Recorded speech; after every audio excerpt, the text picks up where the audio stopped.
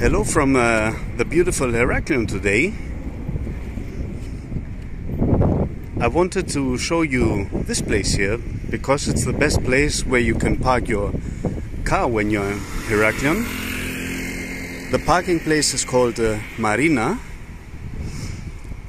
It costs 3 euros per day, all the day, and it's very easy because it's exactly next to the city you can park easily your car here and go wherever you want.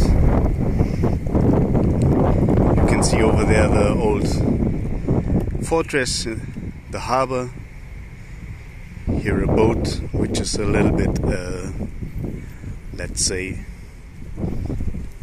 in a bad condition.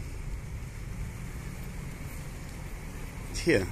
And now we will go a little bit to the beautiful small harbor over there. Let's go. Here's where the harbor starts and you can enjoy your coffee here. This coffee called Marina or in Greek uh, Marina. Let's make a small round here.